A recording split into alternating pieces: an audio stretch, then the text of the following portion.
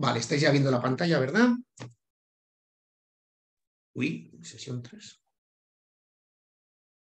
Aunque pone sesión 3, es la sesión 4. Tengo que corregir el título. Vale, la sesión de hoy arrancaremos como habitualmente con el feedback, con el de las tareas y luego eh, seguimos con la parte del formulario del proyecto. Si la, semana la sesión anterior vimos lo que tenía que ver con el objetivo, con el perfil del beneficiario y con la descripción del proyecto, hoy vamos a completarlo con la justificación de la necesidad, contexto, como queramos llamarlo, el cuadro de actividades y luego el bloque 4, eso que he llamado los campos sobre cómo lo, sobre cómo lo hacemos, sobre cómo lo haremos, ahí veréis que vamos a trabajar diferentes campos como metodología, innovación, eh, seguimiento, ODS, bueno, hay el resto de campos, todos los campos que suele haber no los hemos cubierto, pero bueno, sí que hay cinco o seis campos que tienen que ver más bien con, eso, con el cómo lo haremos, que también vamos a echar un vistazo. Y luego incorporado al final un apartado que son solamente dos diapositivas, en aquellos casos en que el financiador eh, da la opción de que se aporte un documento propio de la entidad detallando el proyecto, pues unas pequeñas pautas sobre cómo elaborar ese documento. Vamos a arrancar con el feedback de las tareas. había tres tareas que eran el objetivo general y específicos, la descripción, la breve descripción del proyecto y el perfil del y el perfil de los beneficiarios. Entonces, hoy he pensado que en vez de que hablar yo solo, que tengo la sensación de que os aburro una barbaridad, vamos a hacer la primera parte, la revisión de los objetivos, vamos a hacerlo un poco de manera colaborativa entre todas. Entonces, eh, más allá de que yo dé unas pistas sobre los objetivos que, voy a compartir, si están mejor o peor, sí que me gustaría que vosotras eh, también dijeseis qué veis bien y qué veis mal, para que entre todos pues, vayáis eh, afinando y vayáis también acostumbrándoos a tener a veces ese sombrero, ese rol del evaluador, ¿no? del que ve el proyecto desde fuera, porque eso, mismo os va a venir bien a ser más autocríticos con vuestro propio proyecto. Entonces, no, he puesto todos porque si no, no nos va a comer el tiempo, pero sí que he puesto varios ejemplos transcritos tal cual, los objetivos generales y específicos. Yo tengo aquí unas chuletillas, unas, unas pistas que os voy a compartir, pero quisiera que antes de hablar yo, pues sobre la marcha, como tenéis que estar viendo el texto, no, no puedo dejar de compartir pantalla para que podáis ir leyendo los objetivos, pero sí, por favor, que nada, que abráis micrófonos y que vayáis diciendo, pues yo esto no lo acabo de entender yo creo que esto es un objetivo general específico, o creo que esto es una actividad, o creo que esto, bueno, que vayáis dando un poco un primer feedback, que luego yo completaré para que entre todas eh, vayáis viendo ese rol, ese, papel que a cumple el evaluador y en que se suele fijar, porque son cosas que son relativamente fáciles y obvias y que también nos va a ayudar a mejorar vuestra, propia formulación. Entonces, venga, quien se anime a romper el fuego, mientras he estado hablando, habéis podido ir leyendo estos objetivos general el primer objetivo, el que no lleva los bullets, es el objetivo general, que está sin, las viñetas, y luego los otros tres son los específicos. A ver, ¿qué, qué cosas eh, comentáis sobre estos objetivos? ¿Qué, veis de menos, qué veis de más? ¿Qué cambiaríais? Obviamente la entidad que nos ha puesto no, el resto de entidades. Yo, por ejemplo, en en el primer objetivo, el de la formación inicial, Sí. Dice, elaborar itinerario formativo teórico y en el puesto que permita alcanzar los conocimientos y destrezas necesarias que alcance el 80% en dos meses. No, no, entiendo a qué hace referencia este 80%. El 80% de conocimientos, el 80% de participantes. Aquí me, me descuadra y eh, me descuadra como objetivo con resultado o con pero no, no, lo entiendo. Si yo fuera la evaluadora, diría, ostras, este 80% a qué hacen referencia. Vale, muy bien. Alguien, venga, más cosas, por favor. Así, cosas breves, pin, pin. Y vamos a seguir todos. El colectivo es un poco amplio, ¿no? Discapacidad intelectual, entiendo que DF, discapacidad física prioritariamente, pero ampliando a otros colectivos vulnerables es como muy, muy amplio, ¿no? No sé. Vale, ya veis, venga, alguien más, ya veis que esto cuando vais animando, eh, enseguida nos ponemos en el, sacar el boli rojo a todos, enseguida nos, nos calentamos. Venga, ¿alguna cosa más? Y vamos viendo más ejemplos.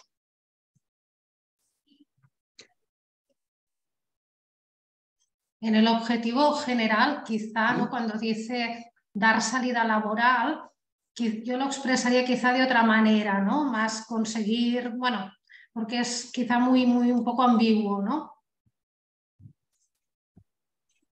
Vale, voy a dar, yo, eh, coincido con lo que habéis dicho, voy a dar también, porque cuando la puse la primera, voy a dar un poco los rasgos positivos, ¿eh? porque también los tiene, sobre todo para, que, la, entidad, para que no, voy a dar los rasgos positivos. Yo creo que recordar que es el único que, que se ha atrevido a, especificar en los objetivos específicos los plazos temporales y los porcentajes de logro, de éxito. Que es cierto que algunos no se entiende muy bien, que también es cierto que aquí están un poco cogidos, pero sí que ha, ha hecho esa apuesta. Aquí es una apuesta que es arriesgada y que a veces pasa esto que no se entiende y que muchas veces las entidades os da miedo el comprometeros. El 80% puede ser de participantes, de personas que llegan a las metas, pero bueno, eso es un tema que hay que ponérselo en valor y que es un tema que, ya os digo que, los demás no, no, se han atrevido a dar ese paso. es, de los, es, de los, planteamientos más concretos, más detallados, aunque pueda tener alguna duda en cuanto a, qué entendemos, ¿no? esa, posible ambigüedad. Perdona, Diego, una pregunta. Entonces, en los objetivos podríamos poner, mm, porque yo pensaba que los porcentajes y todo esto era como más para indicadores de resultado y así. En los objetivos ya lo podríamos poner, ya podríamos. En los objetivos, a ver, va a depender mucho de cómo sea el formulario del financiador. Si, por ejemplo, el formulario del financiador solamente os pide objetivos generales y específicos y luego no hay una tabla de indicadores, de resultados esperados, de... y la única forma que tienes de cuantificarlo es en, el, en, la mención del objetivo específico, podrías ponerlo. Lo veremos, la, la, sesión, que viene vamos a dedicarla a toda indicadores y va a ir muy vinculada, incluso hay, hay un ejemplo de, que, hoy no lo veréis aquí, de una de las entidades que directamente me lo he llevado ya a la sesión que viene. Entonces, eh, va a depender un poco de cómo lo pida el financiador. Lo mismo, lo que es importante es que vosotros en vuestro diseño sí que tengáis el objetivo específico con esos indicadores, con esos resultados esperados, con esas metas, como queramos llamarlo, ¿no? pero que sí que tengáis algo cuantificado para podérselo plasmar y podérselo transmitir al financiador. y luego también otro factor importante en este caso es la mención a los ayuntamientos. ¿no? Aquí hay un, factor clave, que luego yo tengo más información porque he visto más cosas del proyecto, pero que en este caso eh, la entidad le da valor y también es un aspecto positivo. Como luego vamos a hablar también del tema del perfil del beneficiario, luego profundizaré más en el tema de, la, de si el colectivo es demasiado amplio, ¿no? ¿Vale? Venga, quiero ver varios, prefiero... Hoy, igual vamos luego un poco rápidos en la sesión porque prefiero eh, dedicar a que, a que pongáis este rol de entrenaros a, ver y a leer las convocatorias con ese, ese gorro del evaluador para que luego también lo apliquéis a vuestras propias formulaciones, ¿vale?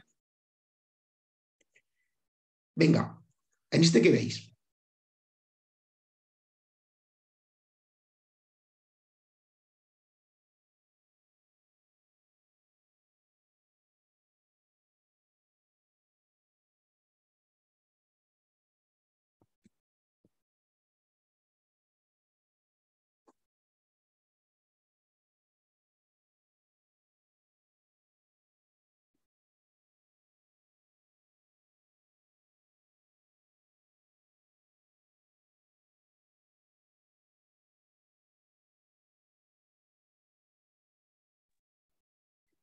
Yo creo, creo, por ejemplo, que el primer objetivo específico como que no tiene relación con el objetivo general. Es decir, eh, eh, habla de oferta de ocio, pero luego habla de atender necesidades y carencias. No, no sé, no sé muy bien. hay un, problema.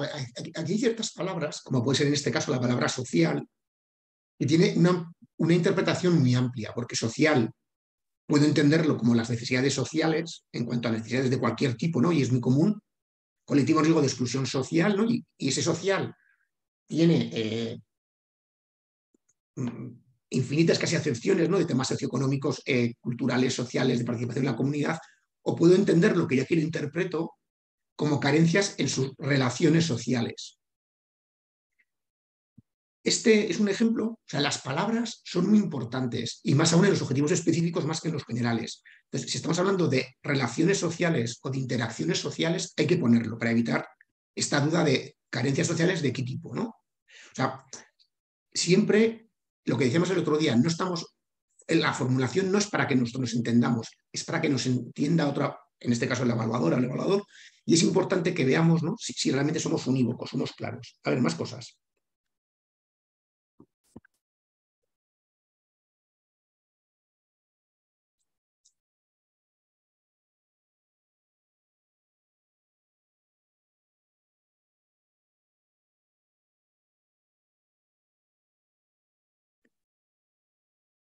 ¿No se llama la atención el inicio? El inicio?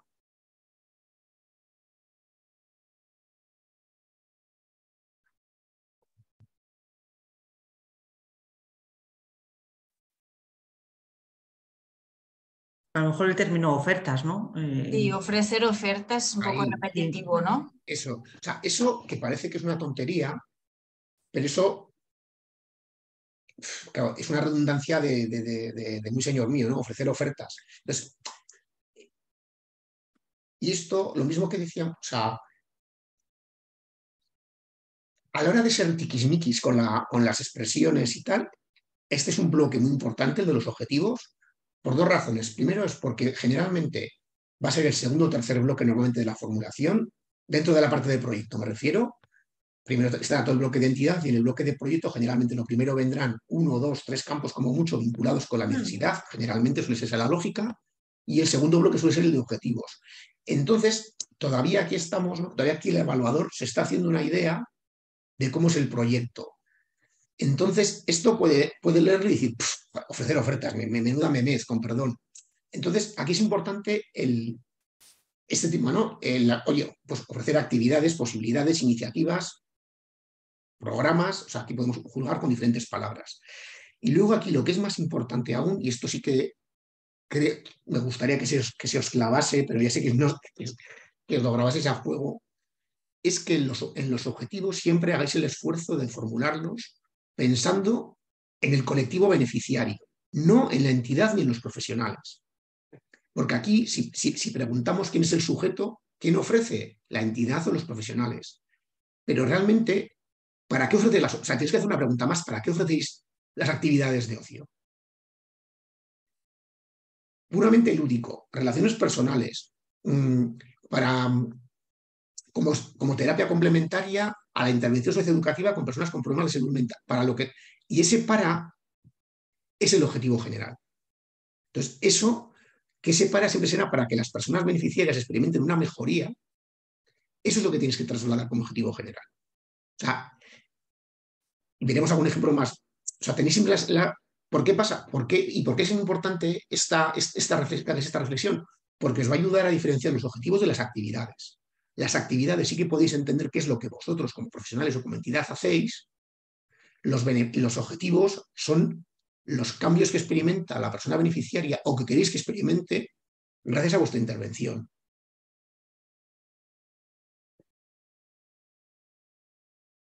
Entonces, por ejemplo, si vemos los últimos,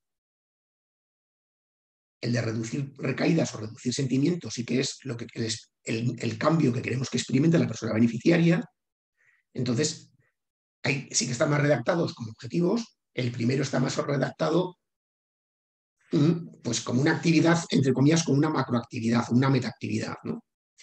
Y luego aquí los objetivos específicos eh, son en general demasiado eh, amplios, un poco concretos, y, no, en ninguna, no se hace ninguna mención al cómo. Tendría que haber algo más de concreción, teniendo en cuenta que los objetivos específicos son de un proyecto de 12 meses generalmente, podríamos, lo que hablábamos el otro día, ¿no? Podríamos meter aquí, perdón, lo que hablábamos en, el ejemplo anterior, aquí podemos meter algún porcentaje, podemos meter algún plazo o podríamos meter algún cómo. Que ahora veis a continuación en algún otro ejemplo, como si se hace claramente mención a los cómo se van a trabajar esos objetivos. Vamos al siguiente ejemplo.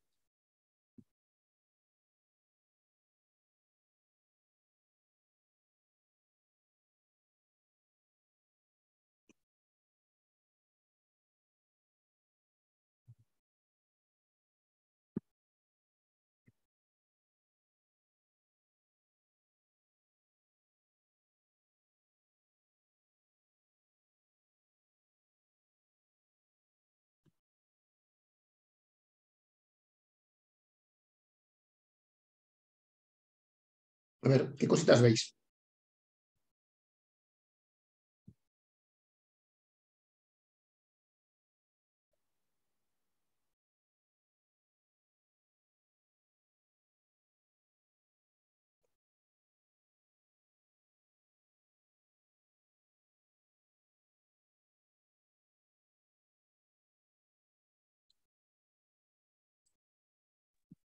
En el, en el objetivo general, bueno, yo veo que está bien porque nos, nos, nos explica el por qué, ¿no?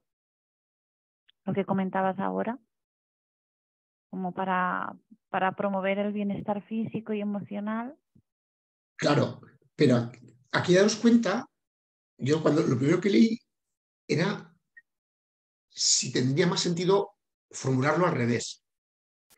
Quiero decir, cuando tú dices que haces algo, fomentar un envejecimiento para mejorar y promover, realmente lo que estás buscando es el objetivo final es mejorar barra promover el bienestar físico y emocional, ¿no? Yo en este caso le daría la vuelta al objetivo general y diría mejorar o promover el bienestar físico y emocional y sus relaciones interpersonales de las personas con discapacidad intelectual, tal, fomentando un envejecimiento activo y saludable. La expresión envejecimiento activo y saludable no deja de ser una expresión que transmite una, que lo que trasluce son o bien un conjunto de actividades, una metodología, un enfoque de la intervención. Es más un cómo que un para qué. Es decir, el envejecimiento activo tiene una finalidad.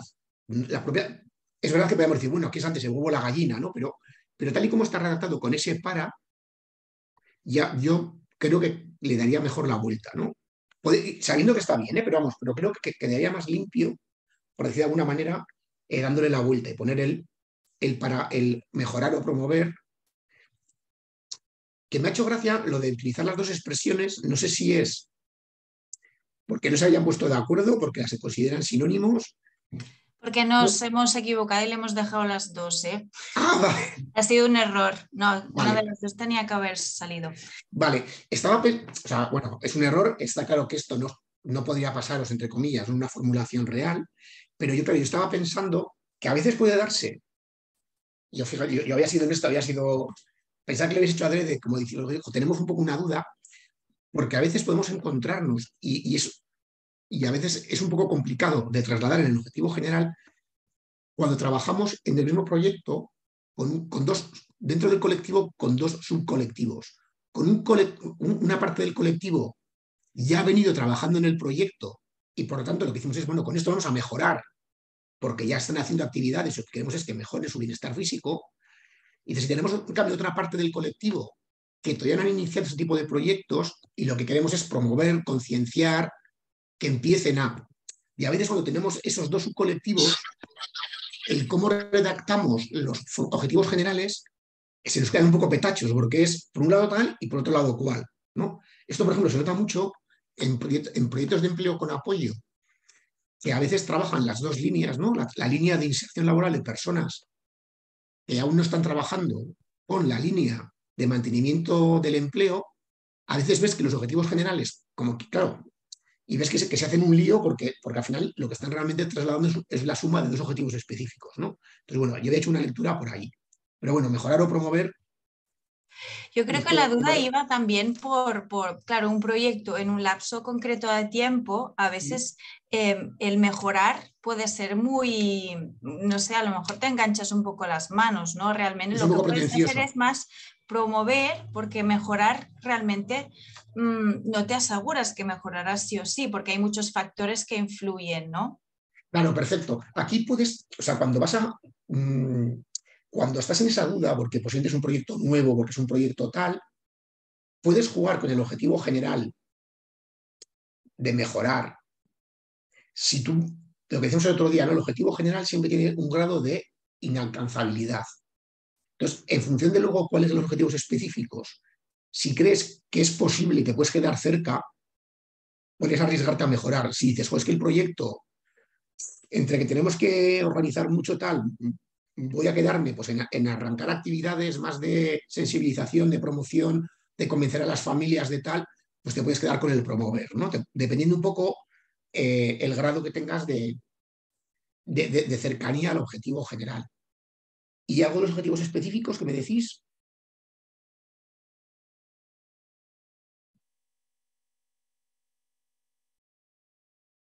Se ha, planteado muchas veces lo de que sean smart, que sean más concretos, que sean medibles, que sean alcanzables, que sean observables.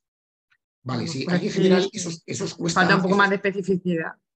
Eso os cuesta general, os cuesta a todos, ¿eh? pero esto, ya os digo, así la semana que viene, combinando objetivos específicos con indicadores, así podemos avanzar un pelín más. Y luego aquí tener cuidado, lo que decíamos, el último objetivo, el de acompañar, ¿para qué acompañas?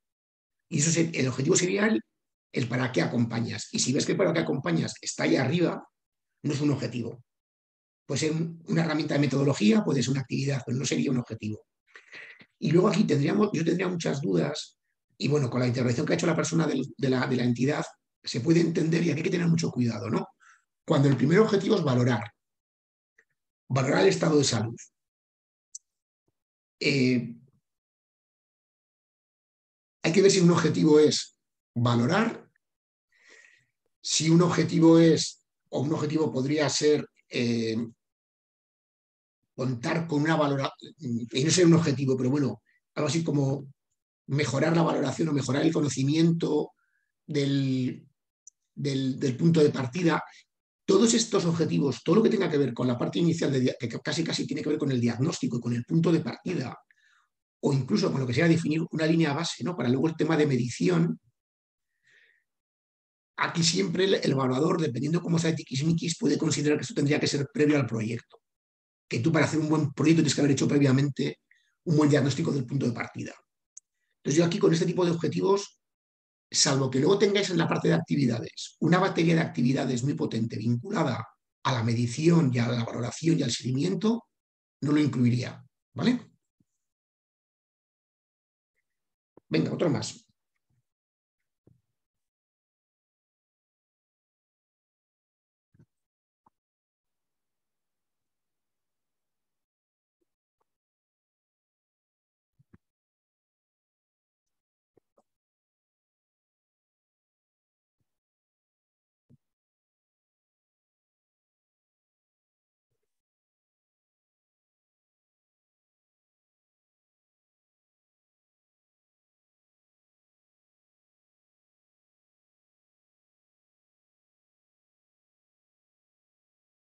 Claro, aquí em, igual lo primero es que no nos dice para quién, ¿no?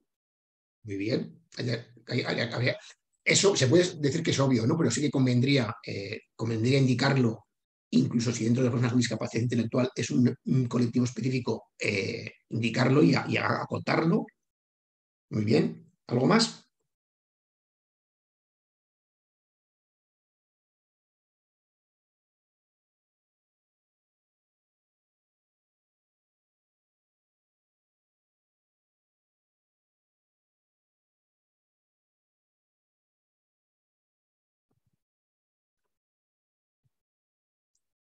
Venga, dos, cositas y así, y así avanzamos un poco más. A ver, este tipo de proyectos son proyectos que hace 20 años podían ser relativamente innovadores, relativamente eh, para el financiador de alguna manera ilusionantes. Ahora son proyectos que se ven, con perdón, hasta la saturación.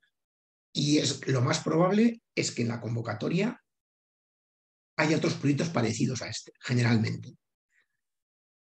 Y, es, y son ese proyectos relativamente fáciles de comparar y donde es fácil detectar cuál es mejor y cuál es peor. Entonces, una primera recomendación es que el acceso al mundo digital, además de especificar el colectivo, especifiquéis el para qué.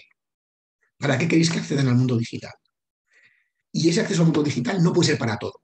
Para ocio, para cultura, para relacionarse con las personas, para el empleo, para hacer la compra, y porque al final eso lo que se genera es un caos, o sea, porque es programa eh, para 200 personas sin ningún tipo de subcolectivo diferenciado y con cinco finalidades. Al final lo que va a interpretar la persona que lo está hablando es decir, bueno, este es un programa de ocupar el tiempo, de que esté una, hora delante del ordenador, con perdón, pajareando. Entonces, esto, si, tienes, tienes al lado un proyecto que te especifica, que tiene una formación concreta, que tiene unos, unos resultados esperados de conocimientos, que tiene un tal, pues el otro proyecto te va a sacar mucha ventaja. Entonces, ya os digo que estos proyectos, desde mi punto de vista, hay cierta saturación, entonces, como lo más habitual es que os encontréis varios, o sea, en la misma convocatoria, hay que procurar afinar y concretar. Y luego, entre los objetivos específicos, os decía el otro día el tema del orden. Claro, yo leo este orden, dotar de formación, romper la brecha, y luego el último, acercar la tecnología. Para mí acercar la tecnología, lo lógico es que eso sea lo primero. Primero acerco la tecnología y luego formo. O primero acerco la tecnología para romper la brecha digital y luego doto de formación. Pero sí que es importante que los objetivos mm, específicos también lleven un orden y que sea un orden que ayude al, evaluador a comprender el proyecto, ¿vale? Venga, y este va a ser el último que vamos a ver. ¿Alguna cosa que, que queréis comentar? Venga.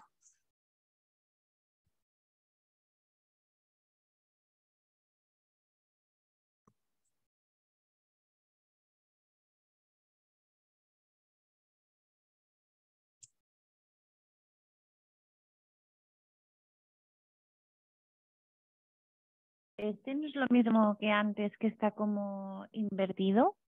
Muy bien, no sé quién lo ha dicho, pero muy bien. Yo también, también lo habría puesto al revés, ¿no? El, sí. el aprendizaje de habilidades sería el objetivo, el objetivo, lo pondría lo primero, y la intervención socioeducativa sería un poco la, la, metodología, el cómo, ¿no? Yo, yo, a este le daría la vuelta. Muy bien. ¿Algo más? Sí.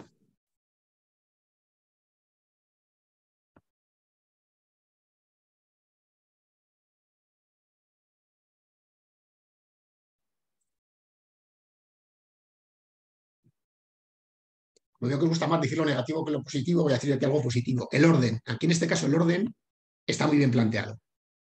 Adquiero conocimiento, desarrollo habilidades y luego concienciar que puedo considerarlo.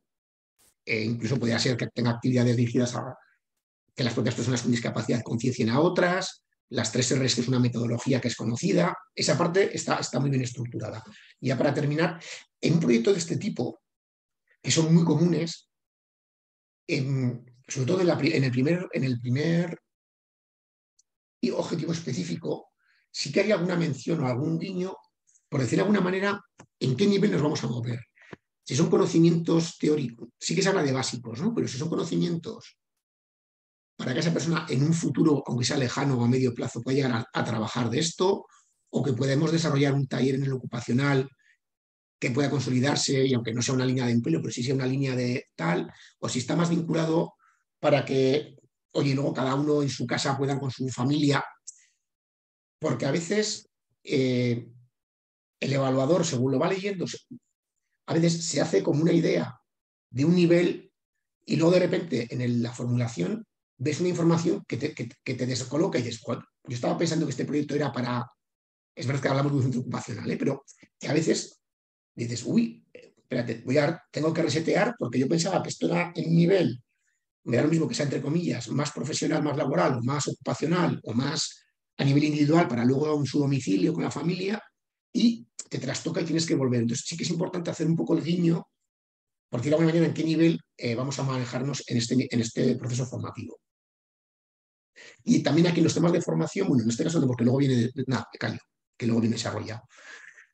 Vale, eh, y ahora ya, con los otros dos bloques. Perdona, Diego, eh, del, que has hablado antes, de los objetivos que, del programa de restauración de muebles, cuando, eh, cuando nos referimos a básico, ¿no lo tienes que también plantear un poco ya pensando al tipo de colectivo que va? Es decir, eh, unirlo también a, a, las personas que va dirigida. A lo mejor no todas las personas tienen la misma capacidad luego para adquirir los conocimientos, como se pone en el objetivo como en este ejemplo está luego también tengo luego transcrito, vamos a verlo ahora en la breve descripción, ahí lo vemos, ¿vale? Vale. Porque me he traído, en este caso coincide que tengo también, vais a, ver también la breve descripción que han hecho y lo comentamos ahí. Es que lo hemos hecho nosotros, pero eso te lo presento. Vale, pues ahora, lo vemos ahí porque ahí, haremos algún, algún matiz, ¿vale? Vale. Eh, vale, perfil de beneficiario. Eh, aquí ya no, eh, traigo solamente un ejemplo y aquí vamos a ir un poco más ágiles, que si no, nos quedamos con el feedback y no, no llegamos a entrar en materia. Em, varios ejemplos no hacen mención a la edad y generalmente conviene. Conviene, y yo personalmente, sabiendo que en plena, en la, en general vosotros siempre es los proyectos para todos, pero si hay, me lo invento, un 90% que están en una franja de edad X, es mejor que especifiquéis esa franja de edad a que digáis de los 8, de los 18 a los 65. Pero bueno, la edad hace que, una, que la persona que lo está leyendo se puede imaginar el tipo de actividades, en la duración, el, lo que antes decían es en qué nivel se van a manejar. Entonces, la edad que nos ha indicado, conviene que algún grupo lo ha indicado, pero todos, la mayoría, yo creo que la mayoría era no indicado. Y lo hago parecido con el género. Depende de qué tipos de proyectos, conviene especificar el número de hombres y el número de mujeres.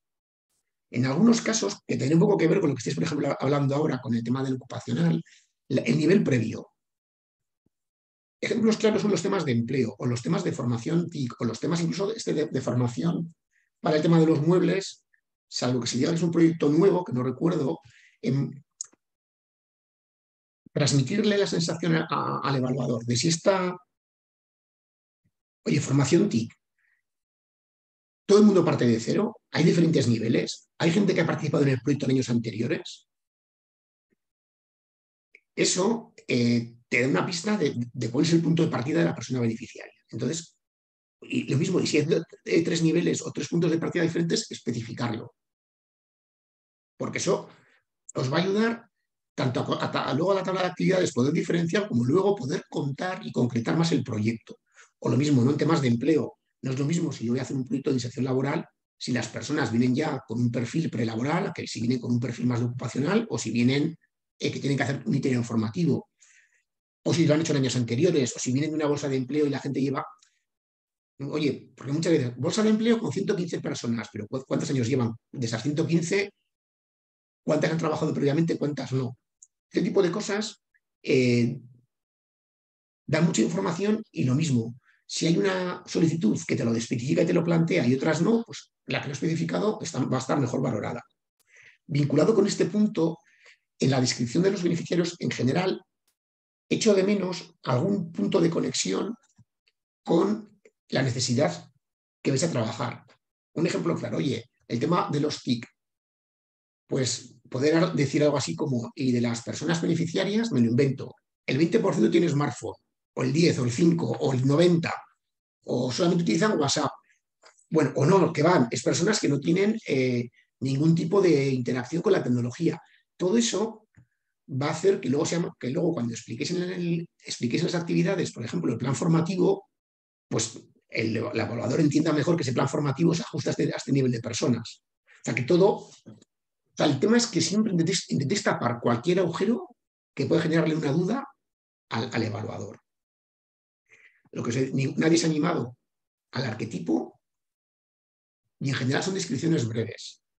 Algunas, como por ejemplo, el ejemplo que traigo es demasiado breve.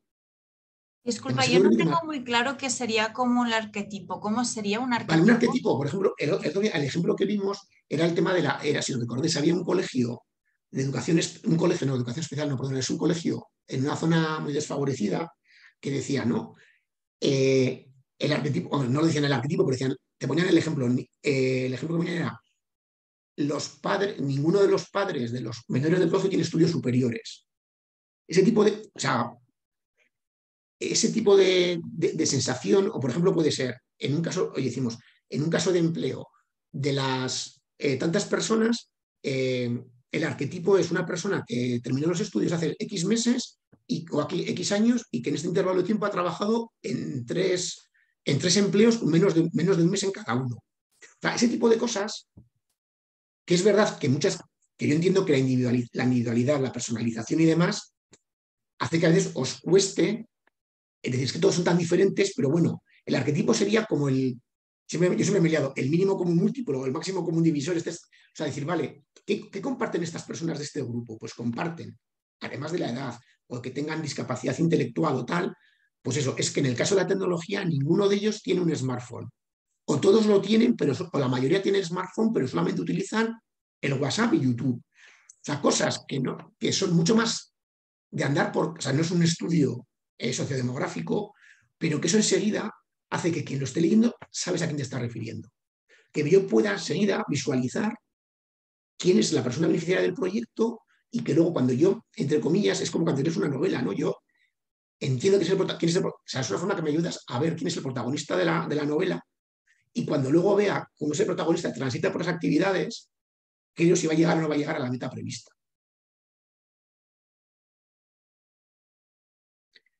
Por ejemplo, sí. Una pregunta de esto de los arquetipos.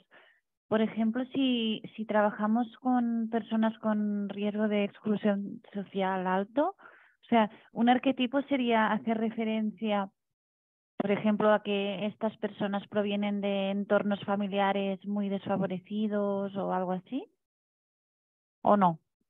Puede ser, pero el, es un tema de la concreción, ¿no? Entonces, además, por ejemplo, estoy pensando, eh, un colectivo que suele ser muy habitual es el de las personas sin hogar. Entonces, es muy común que ellos te digan eh, X personas beneficiarias y que te hagan, el arquetipo sería la media, obviamente, porque no, pero la, mayoría son hombres que llevan, entonces, que llevan en situación de sin hogarismo, me lo invento, ocho años, siete años, con problemas de adicciones y la mayoría de ellos problemas de enfermedad mental ese tipo de... o no, decir, esto, y lo vemos a continuación, tiene un punto de nexo de unión, también con el punto anterior que digo, ¿no? De la, del vínculo con la necesidad. Esto eh, también lo destacaba en la guía de Fundación La Caixa. O sea, tiene que haber entre el perfil del beneficiario y la justificación de la necesidad, tiene que haber un cierto vínculo, una conexión. Entonces, puede ser que la justificación la hago más cuantitativa, más, em, más rigurosa, y en el perfil del beneficiario la personalizo un poco. De manera, por ejemplo, que si dices, oye, el ejemplo que tú pones, vale, pero ¿qué consideramos que son familias muy desfavorecidas? Oye, pues son familias, me lo invento, perceptoras del ingreso mínimo vital, o son familias que viven en infraviviendas, o son familias que nunca va a ser el 100%. ¿eh? O sea, que aquí esto, pues os digo que perdemos un poco de rigurosidad por ir a la mayoría de, tienen estas condiciones de vida, estas circunstancias. ¿Vale? Vale es un poco rebajar el. ahora, como luego vamos a ver la justificación, ahí igual podemos un poco volver a pararnos, pero es un poco el, transmitir de una manera más cualitativa lo que os digo, lo que sería el protagonista de la novela, ¿no? El de la persona beneficiaria, qué rasgos tiene para que el evaluador pueda entender dentro de esos porcentajes de discapacidad. Dentro, por ejemplo, hay un caso de un proyecto que yo muchas veces suelo comentar, que dicen, oye, son personas, seis personas, o sea, seis adolescentes con trastorno del espectro autista eh, que no tienen capacidad para la comunicación oral, con tendencia a la autolesión y a la violencia física con sus familias, y las familias, por ese riesgo, no pueden vivir con ellos, pero las familias no se han, desentendido. Entonces, es un proyecto que lo, tengo muy marcado, porque lo hablo muchas veces. Entonces, claro, tú con, con esa línea y media tienes muy claro cuál es la situación de la persona beneficiaria más allá de que me digas que tiene un 95% de discapacidad o que tiene un X% de discapacidad más un X% de tal y que tiene reconocido el régimen X de dependencia. Si tú me dices que esa persona que tiene, que tiene TEA, que, tiene, que no tiene capacidad de comunicación oral, que tiene tendencias eh, autolesivas y de violencia con, con, la familia y que la familia no se ha desentendido, sino que la familia está presente pero que no puede estar conviviendo con ella, claro, es que el proyecto ya ya sé cuál es el punto de partida. Y si recordáis, por ejemplo, el tema de, la, convocatoria de la Caixa, la vulnerabilidad, pues me has dado muchos factores para que considere que ese colectivo es muy vulnerable. Y, Diego, ¿y era, un proyecto solo para seis personas? Sí. ¿Has dicho? Y no os digo lo que, cuesta, porque, porque cuesta una auténtica barbaridad ese proyecto. Vale, es que esto también nos da miedo en general, ¿no? Como el número de personas al cual va dirigido. Es como que Claro, pero, en este caso, a ver, claro, si yo transmito a seis personas y no doy esta información que estoy dando, que es muy cualitativa, puedo eh, descartar el proyecto, pero si tú ves estas personas, bueno, mira, luego lo voy a enlazar porque lo voy a dejar en suspense porque voy a volver luego a él. En el siguiente caso voy a ponerlo como ejemplo, porque voy a poner un ejemplo para que veáis muy claro en el tema de la necesidad, ¿vale? Bueno, un poco aquí a lo que íbamos, y os digo, este, este este perfil es demasiado genérico y sirve para, cualquier proyecto. Personas con discapacidad intelectual, mental, física y sensorial, que encuentran dificultad en la participación plena efectiva en la sociedad. Hay que aterrizar un poco más, ¿no? Es un poco párrafo comodín. ver el resumen del proyecto, ninguna entidad había respetado el límite de, los 750 caracteres. Todos os habéis desarrollado algunas un poquito más, otros bastante más. Eh, por favor, tenéis que hacer un, entrenamiento para quitar paja, que es, que os va a venir muy bien para todo. Eh, porque a veces, si, cuando estás en la plataforma, si está limitada, no te va a dejar seguir. Y porque luego, para cuando presentéis lo mismo, voy a hablar al final del documento del proyecto y demás, hay que ir a la esencia, hay que ir a cosas concretas, a cosas fáciles de entender, eh, a cosas que, argumentos que pongan en valor el diferencial del proyecto. Un proyecto de seis personas puede ser impresionante, mejor que uno de 300, todo lleno de generalidades. Porque el de 300 me voy a encontrar otros 15 proyectos como ese. El de 6 no me voy a encontrar ninguno. Este es un proyecto que ya habré evaluado hace 5 o 6 años y que me sigo acordando de él. Porque es un proyecto eh, que ya os digo que es un proyecto de los que hay muy pocos y que tiene muchos rasgos diferenciales.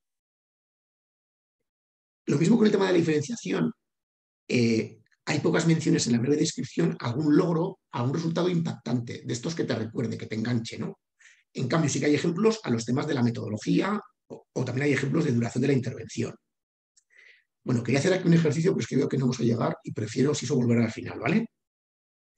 Vale, vamos a entrar ya en la, parte, en, el bloque nuevo de la parte de hoy, que sería lo mismo. El primer punto de casi todas las formulaciones la justificación de la necesidad, el contexto, como lo que nos lo quieran llamar, ¿no? el, porqué del proyecto que decíamos en, la primera sesión.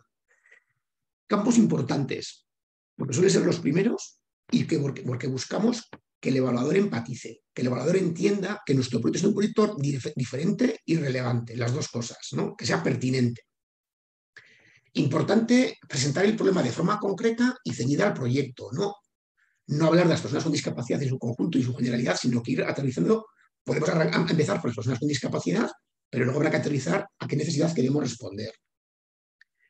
Datos, esto lo hablábamos también el otro día con el tema del perfil, y cuantos más cercanos al proyecto, eh, mejor. Vincularlo, lo que acabamos de ver antes, tiene que haber alguna conexión entre entre, la, entre el perfil del beneficiario y la justificación de necesidad. Conviene hacer que haya un guiño cruzado entre las dos partes para que veamos que aquí podemos hacer alguna mención a datos del beneficiario y al revés. En la parte del beneficiario, alguna mención expresa sobre ese beneficiario y esta necesidad que queremos cubrir. un, claro, un, argumento claro de que el proyecto es necesario es que haya lista de espera. Y si hay lista de espera, hay que, hay que, expresarlo y hay que, hay que indicarlo. Otro que lo estén pagando las familias. Y aquí viene a la relación que os decía de este proyecto de estas seis personas. Este es un proyecto que la entidad, que es una entidad que económicamente no anda muy bollante, en su momento decidió arrancar el proyecto con financiación propia de la entidad, antes de conveniarlo, porque creían que era tan necesario que esas seis, personas no podían seguir viviendo como estaban viviendo con sus familias, que arrancaron una vivienda tutelada para estas seis personas, pagándolo a la entidad y luego lo conveniaron.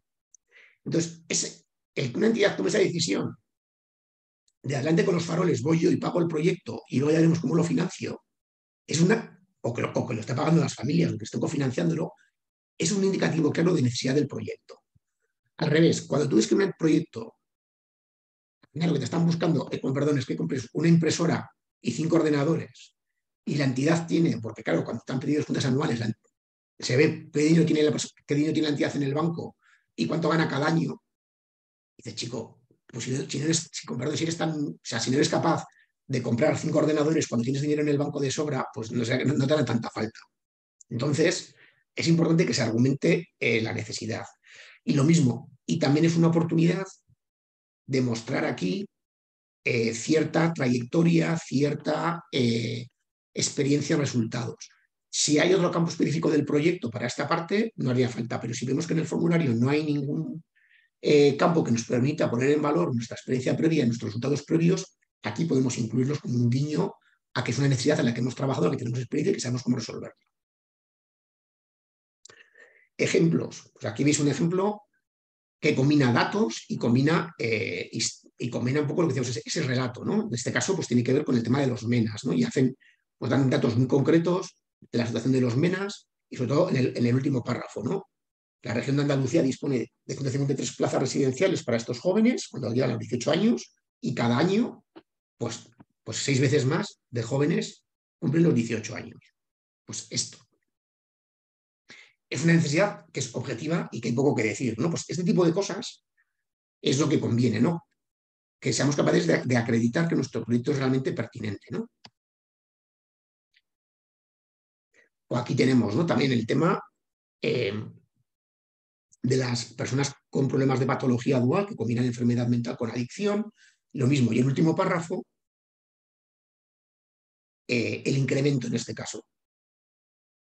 Oye, nosotros tenemos que, según nuestros datos, el 50% de las personas que atendemos tienen patología dual y el incremento ha sido de un 45% en dos años y en algunos casos de un 62%. Pues, pues, te está dando datos objetivos de que la, de que la necesidad es, acuciante. Y si, te, os das cuenta, no me está hablando del CIS, ni de Instituto Nacional de Estadística, ni, de, ni, de ningún macroestudio. Estos son, oye, pues con, mis datos de mis perfiles de usuarios, cuántos tengo diagnosticados de patología dual, cuántos tengo hoy, cuántos tenía hace tres años. O sea, que no son cosas que haya que, contratar a un super a Harvard para que, para que haga estos cálculos. O sea, que esto es dedicarle un poco de tiempo y poner negro sobre blanco muchas veces intuiciones que teníamos encima de la mesa. Y esto si lo recordamos de la primera sesión, cuando hablábamos ¿no? del diagnóstico y de, argumentar y de ver eh, la necesidad, pues de ahí podríamos tenerlo ya hecho.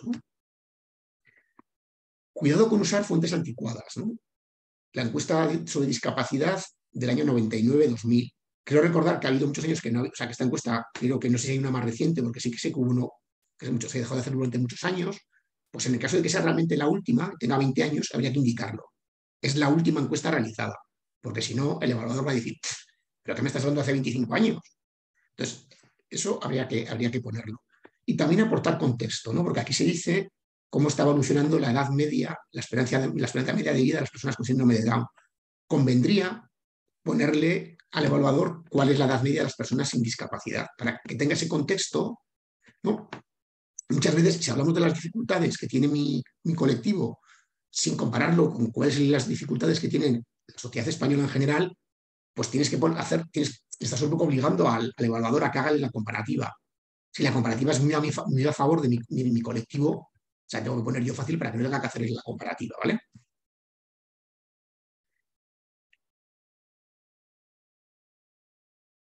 Claro, aquí, por ejemplo, se dice, ¿no? La tasa media de las personas con, salud mental es de un 20%, perdón, de un 17%. En las comarcas de Baza, de Baza y Huesca la tasa de paro es aún mayor, pero aún mayor, con perdón porque yo lo digo. Eh, pues que no vale porque yo lo diga. O sea, tú puedes compararte con, o sea, no puedes pasarme del Instituto Nacional de Estadística a darme un dato a de repente tú decir que porque tú lo dices, en tu zona estés peor habrá que dar algún dato y si no, pues tendré que, que, ese párrafo eh, suprimirlo porque, porque la reacción que decía el evaluador es, chico, ¿por qué tengo que creerte? ¿no? Vale, pasemos a cuadro de actividades. Voy a diferenciar dos, dos, dos, dos pasos, el diseño de actividades y la formulación. Generalmente las actividades, cuando las tenemos diseñadas, lo que hacemos es copiar y pegar en los cuadros y nos adaptamos un poco a lo que busca el financiador. Entonces muchas veces nos dejamos llevar por lo que tenemos ya diseñado.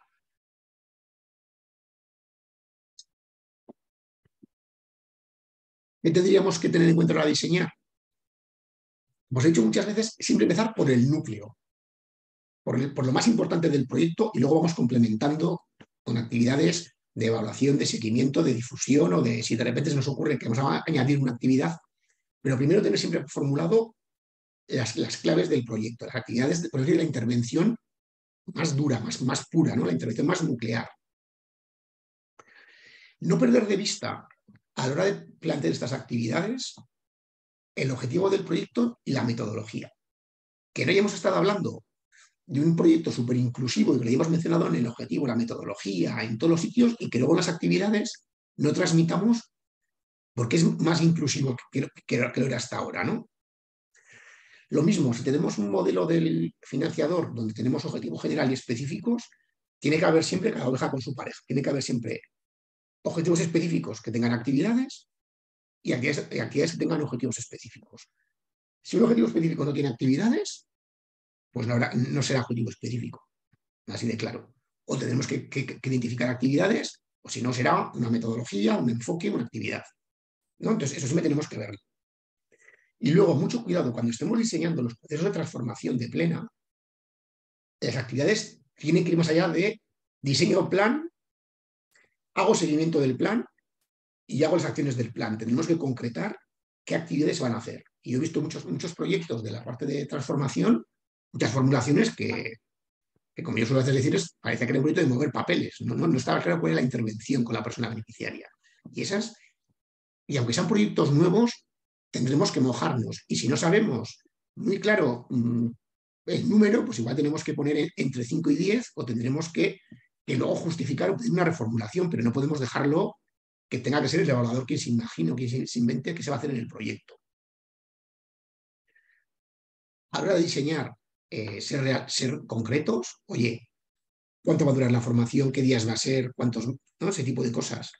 También porque en el diseño, si no tenéis claro cuánto va a durar o cuántos días va a ser, luego no vais a poder presupuestarlo. O sea, que en la fase de diseño, o, si sois varias personas diseñando, vais a entender cosas diferentes. Entonces conviene que haya un cierto grado de concreción. Y luego el calendario, ser realista con las fechas. O sea, el calendario hay que hacerlo más de una vez. Porque luego, ay no, esto es imposible, que aquí toca Semana Santa. ¿Cuándo que este año? Ay no, que aquí toca el campamento de verano y esto se marchan fuera eh, dos semanas. Porque las actividades que luego siempre vamos con la lengua afuera, pues eso a veces surge pues porque el diseño hemos sido poco, poco autocríticos ¿no? a la hora de hacer el diseño. Aquí tenéis un par de tablas sobre actividades, una más fácil y una más compleja. Pero bueno, Mm, esto sería lo ideal, ¿no? Una descripción de la actividad, el objetivo específico asociado, cuántas personas participan. Podríamos quitar o no, pero a veces el perfil del participante, ¿no? Si, oye, aquí van a participar solo los que llevan un año previo, o no, esto es para, para las personas nuevas en el programa, o estas solo para mujeres, porque vamos a meter dos actividades de género para poder rascar algún punto en el, tema del género. Bueno, pues aquí el perfil eh, podría convenirnos. Resultado esperado, que iría vinculado con el objetivo específico, fecha de inicio y fecha de fin, ¿no? Y luego la de abajo tiene un formato un poco más ampliado. Bueno, pero conviene, lo mismo que os digo siempre, no, no tienen que ser estas, una de estas, pero conviene que tengáis en la organización una tabla propia para diseñar actividades, para que todo el mundo utilice la misma, para que todo el mundo, pues el calendario siempre se haga igual, si es con casillas, si es por meses, si es por semanas, si es por quincenas, pero que no sea cada uno eh, la tabla de su padre y de su madre, sino que siempre contéis con una tabla de actividades propia. Estamos todavía en el diseño. Ahora pasaremos a la formulación. Habla de formulación. Que las actividades todas tengan una importancia similar, o sea, que no, combinemos actividades con tareas. O sea, que no esté leyendo el evaluador y diga, esto que pinta aquí, esto no tiene nada que ver con lo anterior, esto es una cosa súper pequeña. O sea, que tengan... Y lo mismo, y si hemos puesto una actividad inicial de difusión del proyecto, selección de las personas participantes, intervención como una gran actividad y después seguimiento y evaluación, esa gran actividad de intervención habrá que desdoblarla. Y podemos desdoblarla por agentes participantes, por tipología de la intervención, por fines de la intervención, por lo que sea, pero que no tengamos una tabla de actividades donde la gestión son cuatro actividades y la intervención una.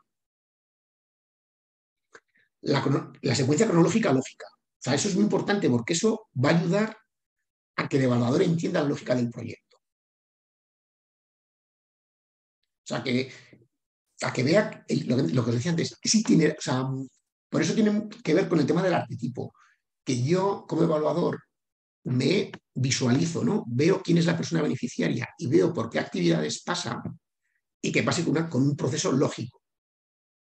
Lo mismo que antes veíamos en el tema de los objetivos, ¿no? Que tengan ese orden hace que yo, que yo voy viendo cómo, cómo la persona beneficiaria va, tras, va adquiriendo capacidades o competencias o cómo va eh, tenido más tiempo de ocio.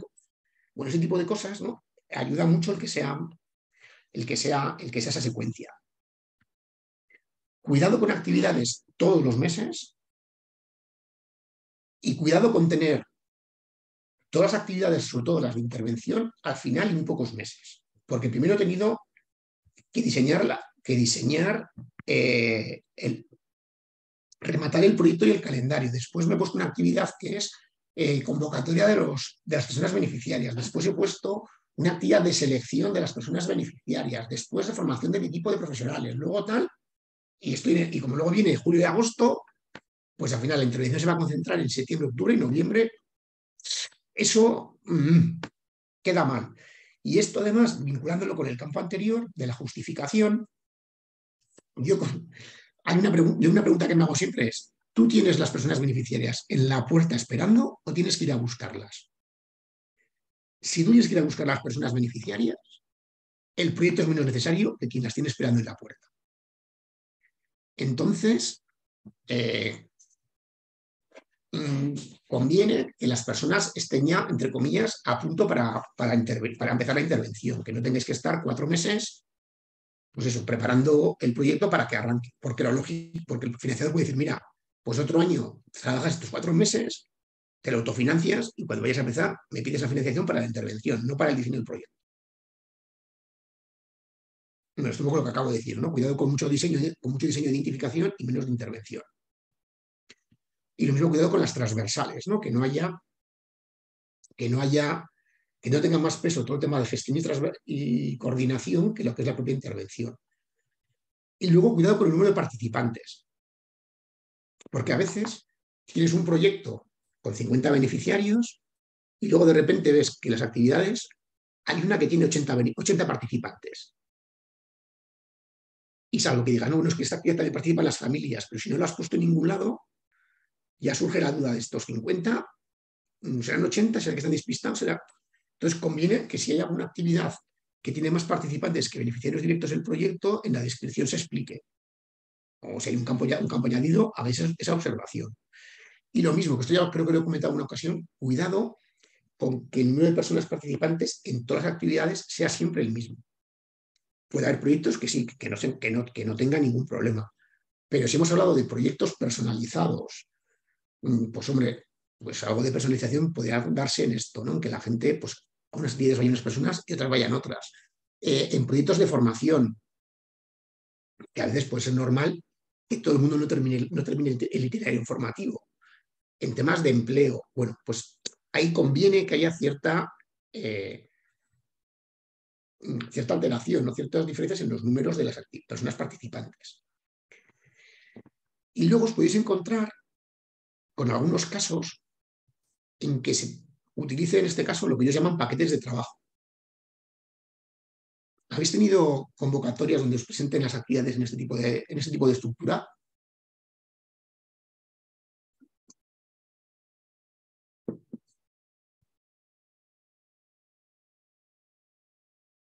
¿Sí, no? No, no, yo no lo había visto eso. Vale, este es un ejemplo que lo he traído del Ministerio de Asuntos Sociales, del proyecto de mi casa, que igual algunos estéis participando, un proyecto de plena, pero luego yo lo he visto mucho en convocatorias dirigidas a centros educativos. Eh, si tenéis algún tipo de, o sea, si, veis este tipo de estructuras u otras similares que no sea la típica tabla, aquí os está diciendo muchas cosas. ¿eh? O sea, os está diciendo que se pone mucho peso en la, en el valor de las actividades, es que aquí hay eh, mucho peso, por ejemplo, en la, ya veis que en la metodología es a, nivel de, nivel de paquete, no es a nivel de todo el programa. Los actores implicados o colaboradores, lo mismo es a nivel del paquete, no es a nivel de todo el programa. Se habla de resultados del proyecto y de entregables, con lo cual está claro que se buscan cosas muy concretas y en dos niveles. O sea, resultado esperado sería el resultado que se quiere conseguir en la persona beneficiaria, ¿vale? ¿Y eso cómo se va a concretar en el producto? Esto lo veremos un poco la semana que viene al hablar de indicadores. Entonces, cuando veáis, perdón, que hay alguien esperando. Cuando veáis este tipo de, formulario, es que son convocatorias que van a mirar con, mucho, con mucho ojo. ¿no? Yo, por ejemplo, y os digo yo, y luego en alguna convocatoria en la que, en la que participan sobre todo proyectos en red, que participan varios agentes, es una forma que tienes muy clara de ver en cada, en cada grupo de actividades quién participa y quién no participa.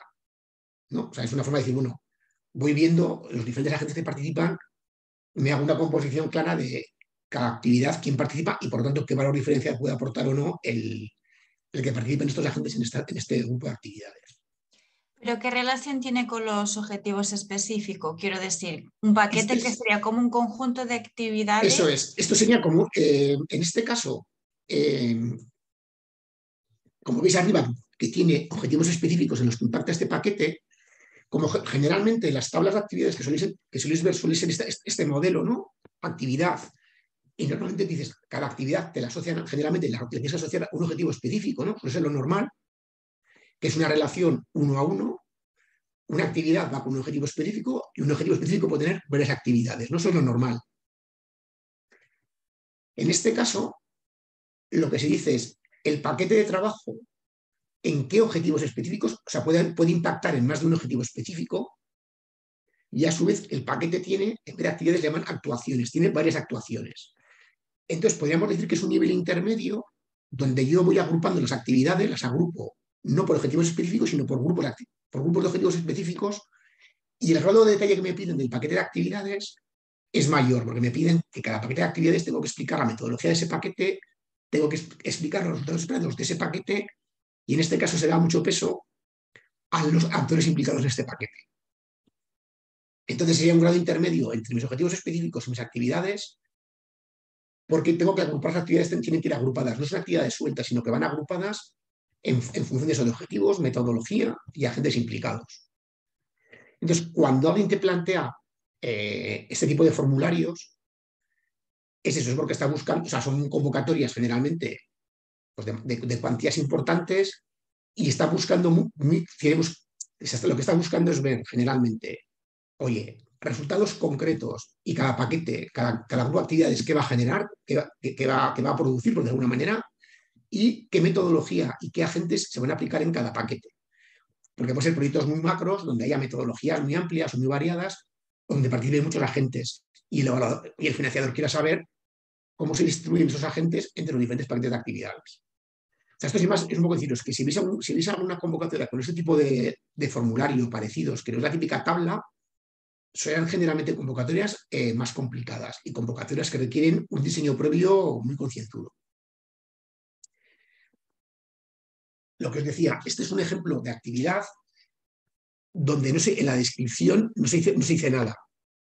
Actividades de bienestar, pues, pues ¿vale? Entonces, aquí mucho cuidado con, con, estas descripciones. Esto está cogido de un ejemplo real, o sea, que, ya os digo que no.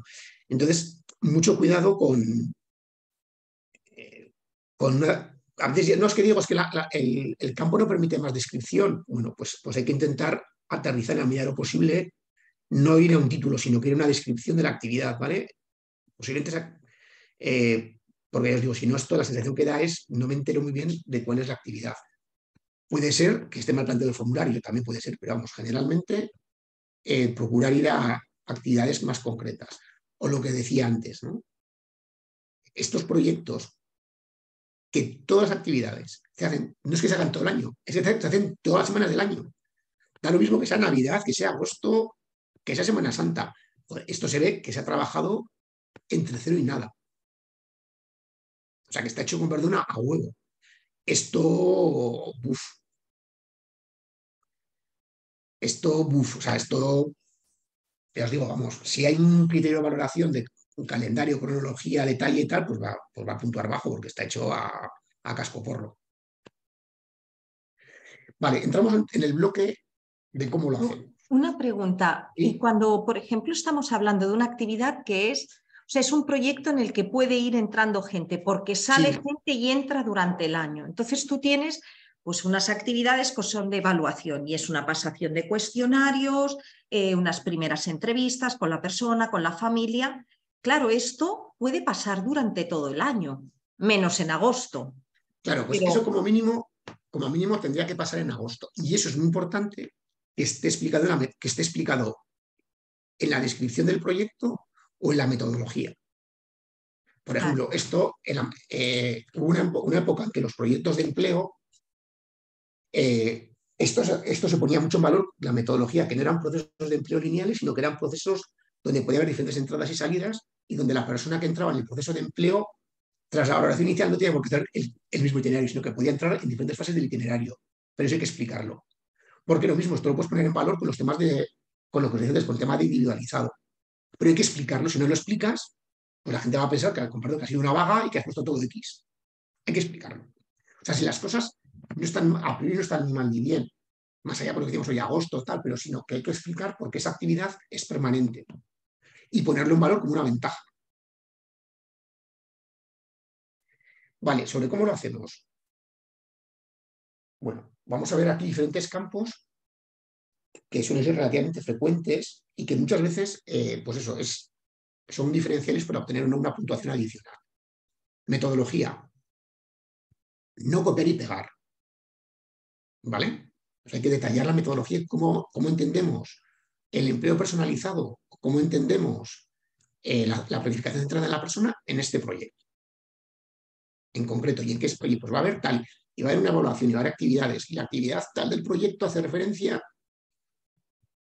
a la evaluación con el grupo de afines que se va a hacer trimestralmente, y por eso, y como el grupo tiene tal, lo haremos, pues, se explica y no hay ningún problema o sea, si el proyecto que lo veamos otro día, si el evaluador busca, o lo que acabamos de ver, el ejemplo de los paquetes de trabajo, si el evaluador da mucho peso a la metodología y tiene varios campos sobre metodología, metodología de la intervención, teoría de cambio, tal, lo que sea, no podemos decir en un campo, respondido en el campo anterior.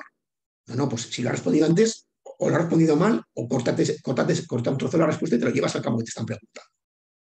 ¿Vale? O sea, si te están preguntando es por algo, no puedes decirle que ha respondido. Lo que os digo, en la si, en si en el campo de las actividades no hay espacio, en la metodología hay que describir cómo esa metodología se aplica a las actividades. ¿no? Oye, participación comunitaria, pues las actividades habrá X que tal, o individualizado habrá y las personas elegirán cuántas actividades participan ¿no? aterrizarlo si hay experiencia previa en el uso de la metodología o, si es una metodología nueva que queremos traer, ver de quién a quién se la hemos copiado, entre comillas. Y oye, pues esto es una metodología que se aplica en este colectivo o en estas ciudades y queremos que ver que nos ha, y si es, una, invención, entre comillas, una innovación, explicar un poco el procedimiento y por qué la habéis explicado, ¿no? Por, perdón, por qué la habéis, por qué la habéis aplicar. Lo mismo, si no hay un campo específico de participación de otros agentes, pues, pues aquí igual podéis decir, dar pie a la participación de las familias, de las propias personas beneficiarias, de si vais a participar con otros agentes de la administración pública, bueno, pues poner en valor ¿no? esa parte de, proyecto colaborativo de co-creación. ¿no? En las metodologías, si la herramienta lo permite, o si vais a trabajar en un documento añadido, este tipo de itinerarios ayudan mogollón a explicar el proyecto. O sea, a veces no es fácil, ¿no? Porque las herramientas no lo permiten, pero si lo permiten, este tipo de gráficos ayuda mucho a entender. Es que no, vale, no, sé si tenía otro más. Oye, un tema circular me da lo mismo, o sea, no tiene por qué ser este, pero cualquier herramienta visual, ¿no? el famoso visual thinking o tal, o el, viaje ¿no? de, de, la persona beneficiaria, ayuda mucho a una comprensión por parte del evaluador muy rápida de cómo va a funcionar el proyecto. A ver, aquí lo que os pongo, ¿no? Em, para mí, en este caso, por ejemplo, ¿no? Oye, servicio de fomento del empleo de personas con TEA en un espacio físico de referencia. En este caso, en nuestra sede. Pero luego decimos que se busca la integración e inclusión de nuestros usuarios en la comunidad de forma normalizada. Pues esto este párrafo está tal cual, es decir, puedes, tú, obviamente puedes buscar la integración, pero no me lo pegues al párrafo donde dices que esto se va a hacer en tu sede, pégamelo en otro lado y explica cómo buscar la integración. Es que apostamos por empleo en empresa ordinaria, perfecto. O es que apostamos por formación con el centro, con el servicio de empleo de nuestra comunidad autónoma, perfecto. Pero no me pongas en el mismo párrafo que vas a hacer el proyecto en nuestra sede y que el proyecto es inclusivo. Que puede que no sea una contradicción, pero si lo pongas ahí, pues me hace verlo que, que no, no acabo de ver la lógica de por qué están conectadas estas dos ideas, ¿vale? Cambiamos de campo, campo de la innovación. En proyectos nuevos es importante que antes de, empezar a hablar de las bondades del nuevo proyecto y de lo innovador que es, lo pongamos un momento eh, tía a tierra, ¿no? en contexto con nuestra experiencia. Es muy importante que no se vea que, nuestro, que esta innovación es una ocurrencia. O sea, entre la innovación, que es algo muy positivo, y la ocurrencia, que es algo muy negativo, tenemos que acercarnos a la innovación. Entonces, es importante explicar por qué surge el proyecto nuevo ahora, porque es una derivada de otro proyecto anterior, porque es un intercambio con tal entidad, o porque hemos visto que tal, en tal colectivo están haciendo tal, entonces creemos que podemos aplicarlo y además nos va a ayudar una persona que, ha experimentado. Bueno, antes de, hablar de las ventajas, conviene que, que el por, y por qué ahora, ¿no? Oye, vale, es innovador, ¿y por qué no lo has hecho antes? Pues oye, lo hacemos ahora por este motivo, por esta necesidad nueva, por esta experiencia, por, esta, por lo que sea. Y si incluso, ya sería la leche, si hemos sido capaces de valorar dos enfoques o dos metodologías o, dos soluciones nuevas diferentes y hemos optado por esta, explicar por qué hemos optado por esta. ¿No? El, explicar, y, si es un proyecto nuevo y consideramos que hay riesgos, el plantearlos. Porque entre que tú los plantees y digas cómo vas a mitigar esos riesgos y que los vea el evaluador y como tú no explicas cómo los vas a mitigar, piense que es un riesgo, pues es mucho mejor que vea que tú, que tú también los has trabajado y los has mitigado. Proyectos de continuidad. Pues si llevamos en la ocupación haciendo lo mismo 20 años, lo mismo seguro que no es. Destacar las mejoras incorporadas. A veces las mejoras, si vemos el 23 contra el 22, no hay una mejora. Y si lo vemos contra el 21, pues igual sea un poco de mejora. Pero si vemos igual el 23 contra el 20, joder, sí que hay mejora. Pues la mejora sería, en los últimos tres años hemos incorporado eh, cinco actividades de tal tipo. O en los últimos tres años el uso de la sala TIC ha pasado de un 10% a un 50%. O hemos pasado de trabajar en un grupo de 15 personas a trabajar en grupos de 7. Ya os digo que a veces para poder ver esas mejoras, si comparamos año con año, no, no lo percibimos pero si hacemos una retrospectiva a dos, tres años, lo podemos ver. Y esto podríamos comparar, conectarlo de nuevo con el perfil del beneficiario. Si antes si recordáis, cuando antes veíamos el ejemplo de la necesidad de la entidad con patología dual, decía en dos años ha aumentado en no sé qué porcentaje las personas con patología dual. Pues aquí lo mismo, si nosotros vemos que nuestro proyecto es el mismo, pero que hay un cambio, hay una evolución en el perfil de las personas, de las personas que atendemos, aquí podemos decir, oye, mismo proyecto, pero estamos cambiando porque cambia la edad media de las personas beneficiarias, porque cambia el contexto que tiene sociofamiliar. Bueno, pues vamos, son pequeños cambios, pero queremos ponerlos en valor. O lo mismo, ¿no? Pues posiblemente si son modelos más participativos o modelos donde damos respuestas a un buzón de sugerencias, lo mismo, en un argumento que se suele tener en cuenta a la hora de necesidad es cuando se dice que es un proyecto que surge a raíz de demandas de las personas participantes o a raíz de demandas de las personas de las propias familiares. Pues ahí combinamos innovación con necesidad. Casi siempre, procurar siempre eso, el conectar dos campos entre sí, que no sea eh, suelto una, una idea en cada, en cada formulario, en cada campo, no se refuerzan y peor cuando a veces incluso llegan a contradecirse, ¿no? Bueno, esto es un ejemplo, lo podéis leer, pues, de un ejemplo de innovación puesto muy, muy, muy, muy bien, porque les, les han dado un premio. Mm, campo que ahora, está que ahora es muy común encontrar, los famosos Objetivos de Desarrollo Sostenible, los ODS. Personalmente, vincularlo solamente con dos o tres. No vinculéis el proyecto con siete ODS, a priori. Y si, tenéis, y si consideráis que vuestro proyecto encaja muchos ODS, pues elegid aquellos que veáis que encajan mejor con el financiador. Lo ideal sería dar el siguiente paso. Los 17 ODS tienen, creo que son 160 y pico metas. Pues convendría que hicieseis la conexión con esas metas del ODS o como mínimo con la descripción del ODS. No es decir, ODS 3, salud, si dice, bueno, conectamos con el ODS 3, que en su descripción dice tal, o con que su meta 27 dice, no, 27 no, suele ser 8 metas, que su meta 7 dice tal. Hay que considerar un poco el, esa conexión que sea más allá de, bueno, que sé los títulos y engancho con el título. Si hemos tenido en cuenta los ODS en el diseño del proyecto, ¿por qué hemos elegido esta solución en vez de esta otra? ¿O por qué hemos elegido estos indicadores? Lo explicamos porque esto es algo que sí que esto ya es de nota, ¿no? Y luego, mucho cuidado con ODS como di, especialmente el 5 y el 17. El 5, que sé que tiene que ver con género. Si mi proyecto no tiene ninguna actividad específica de igualdad de género y en la descripción del perfil de beneficiario no he hecho ninguna mención expresa a que hay una mayoría de mujeres, pues es un ODS que, que muy bien, pues habré puesto el 5 o el, o el 14, porque, porque hay conexión con el 5. Tiene que haber, tiene que haber un vínculo como mínimo a nivel de actividad o a nivel de perfil de beneficiarios o a nivel de metodología, tiene que haber algún vínculo. Y luego el 17, que es el famoso de las alianzas, es un objetivo que luego sus metas no son unas metas súper raras. Y lo mismo, si no tengo ninguna actividad específica de trabajo en red, de creación de alianzas, de tal, pues muchas veces se ve que está puesto de relleno.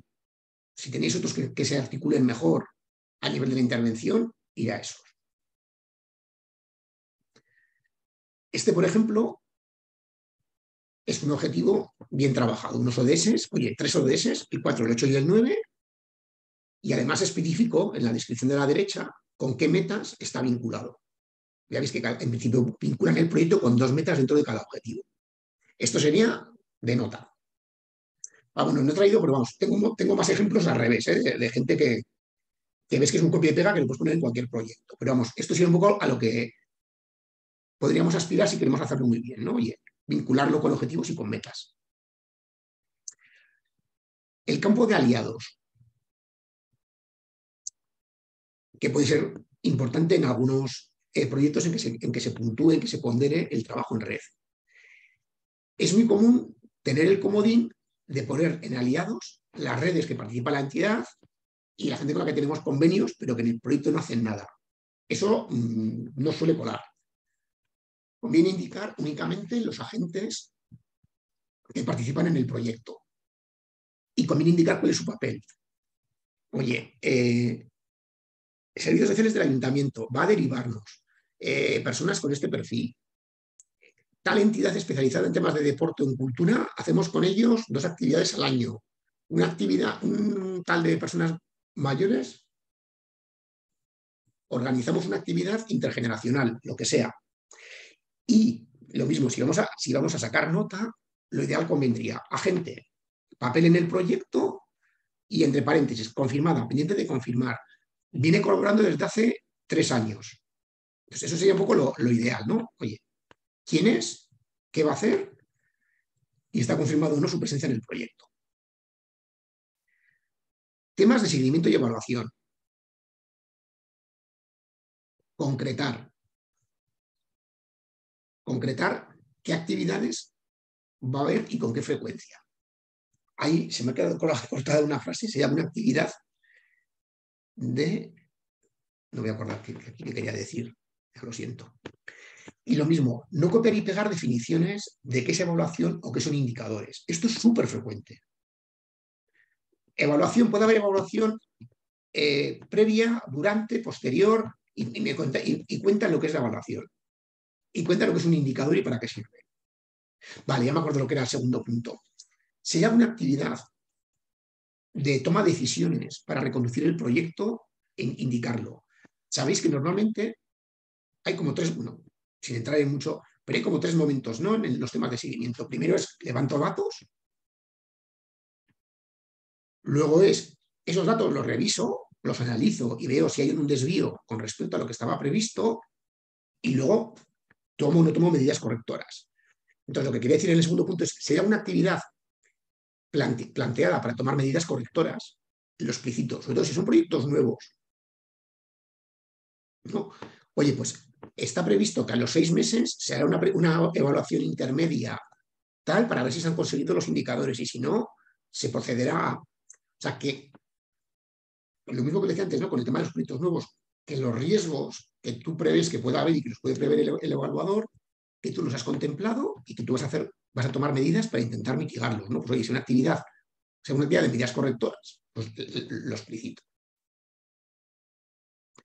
Un ejemplo pues si tengo la ISO, como tengo la ISO, pues, pues no digo nada. No, los, segundo párrafo. Instrumentos se utilizarán los propios itinerarios personalizados, en los que se marcan, ¿vale? Pero cada cuánto se hacen las entrevistas personalizadas Lo dicho, yo puedo hacer entrevistas personalizadas todos los días, pero ¿qué hago con esa información de la entrevista? ¿Cuándo tomo medidas para modificar mi intervención? O sea, que no solamente es tomar datos, es ver esos datos, si se evalúan, se analizan y si, sobre todo si se corrige o no se corrige el proyecto. ¿no? Sostenibilidad. Todavía no es frecuente, pero poco a poco puede empezar a haber más proyectos, no temas de cómo impacta mi proyecto no en temas medioambientales. Puede ser que se quede a nivel de entidad, podríamos, nos podría valer con tener un párrafo, dos párrafos sobre la entidad. Pues oye, si hacemos, ¿qué hacemos? Tenemos un plan, tenemos un plan, tenemos cálculo de emisiones, lo tenemos. Y luego a nivel de proyecto, pues si en el proyecto o bien en el presupuesto, oye, pues hemos preferido alquilar un coche eléctrico que sea más caro, o alquilar un autobús que tal, o ir en no sé cómo, aunque sea más caro, pero porque es un tema más sostenible, lo podemos poner. O lo mismo en las actividades. Oye, hemos elegido esta actividad porque tiene un impacto medioambiental menor. Suelen ser razones que todavía no se suelen exponer, pero bueno, dependiendo de quién sea el financiador, esto que os dejo una pincelada, puede que esto no eh, cada vez sea más presente. Y ya para terminar, campo de viabilidad. Estos campos, como la sostenibilidad económica, la sostenibilidad a secas, a veces aquí no somos, depende del financiador lo que busque, incluso conviene que le preguntemos, porque no, sé muy bien qué me, está preguntando. Normalmente la viabilidad, pero digo normalmente, porque yo digo que esto cada formulario puede entenderlo diferente. Normalmente la viabilidad tiene que ver con la factibilidad, ¿no? la posibilidad de llevarse adelante el proyecto, de que la entidad es capaz de controlar los factores claves del proyecto, porque tiene las personas formadas, tiene las instalaciones, tiene el conocimiento y los riesgos los tiene controlados. Normalmente tiene que ver con eso, la viabilidad del proyecto. Que no haya imprevistos y con que la entidad sea capaz de asumir y llevarlo adelante. Cuando nos pide por sostenibilidad económica, suele referirse no tanto a la del propio proyecto, sino como a futuro. Vale, cuando el financiador acabe la financiación, ¿cómo vas a sostener el proyecto? copago de las familias, conciertos, seguiremos buscando convocatorias, bueno, sea una posibilidad de generar ingresos que es autosostenible, es una de, las, preguntas más difíciles de responder. Y luego la teoría de cambio, esto puede estar enfocado no con la metodología, bueno, esto vendría de la parte del diseño previo del proyecto, o puede venir de un enfoque metodológico de la propia organización de nuestro modelo de intervención se busca siempre que hay una relación causa-efecto entre mis actividades y el objetivo que yo busco. Bueno, pues por ejemplo, esta es una entidad donde tiene pintada, tiene su, teoría de programa, la, tiene, la tiene, oye, ¿qué causas hay? ¿Cuál es el problema central en que yo intervengo? Y finalmente. ¿en qué efectos intento paliar? Bueno, pues este sería un poco su teoría de cambio. Esto no es tanto a nivel de proyecto, en este caso lo tiene ¿no? a nivel de entidad. Lo dicho, el tema de temas visuales ayudan mucho a entenderlo. Esto, que es bastante genérico, mm, pues como mínimo transmite la sensación de que la entidad ha trabajado en su teoría de cambio la la tiene plasmada. ¿no? Podríamos discutir y se, te puedes poner un poco, a, ser un poco tiquismiquis, pero generalmente en, este, el momento actual, salvo que es un proyecto de cooperación internacional muy grande y demás, en los proyectos, yo creo que sociales en España, mm, con esto, con esto está más que respondido. Bueno, termino dos pinceladas muy breves. Si nos pide el financiador, nos da la posibilidad de subir un documento anexo. Si lo tenemos hecho, vale. Si no lo tenemos hecho tenemos que hacerlo, solamente prepararlo si debemos aportar información adicional para, para subir el Word de lo que hemos subido en el formulario online, no hace falta ni que perdamos el tiempo. Lo dicho, si es un documento propio, aprovechar para meter imágenes. Imágenes, lo que hemos visto, el flujo del itinerario de las personas participantes, nuestra teoría de cambio, mm, una presentación de nuestro mapa de proyectos y marcamos cuál es nuestro proyecto que, vamos a que queremos que nos financien y cómo se relacionan con los proyectos de la entidad para darle más consistencia. Yo os digo, como es un documento anexo, el evaluador lo va a mirar en diagonal. Entonces, una imagen se va a parar. También se va a parar si hay una estructura clara título, bloques, negritas, eh, salto de línea, eh, tabulaciones, es decir, que, que sepa en cada momento qué está leyendo, que tenga una lógica, pues eso, de necesidad, objetivo, actividades, metodología, resultados esperados. No debería pasar de 10 páginas, salvo que sea un megaproyecto. Información de la entidad no hace falta, porque eso habrán pedido de actividades, la página web, o sea, la, memoria de entidad la podéis suprimir. Cada vez veo más documentos, cada vez más largos y con más carácter eh, universitario, con citas, con bibliografía. Chico, que, esto no es un, no es un, no es un, que esto es que tú vas a contar tu proyecto. O sea, que no, no hace falta un apartado de bibliografía ni de citas. Y lo que hace falta es que este espacio lo dediques a concretar, aportar valor añadido, cuestiones de detalle, en lo que tú te veas más fuerte o en lo que tú creas que el financiador va a demandar indicadores, metodología, actividades, perfil del beneficiario, aliados, porque tenemos un mapa de agentes, tenemos un mapa de aliados y lo, plasmamos. Ya os digo, que no lo hagáis si no va a aportar nada más, que cuando lo hagáis, si, si tenéis ya el proyecto, un proyecto diseñado, ya está.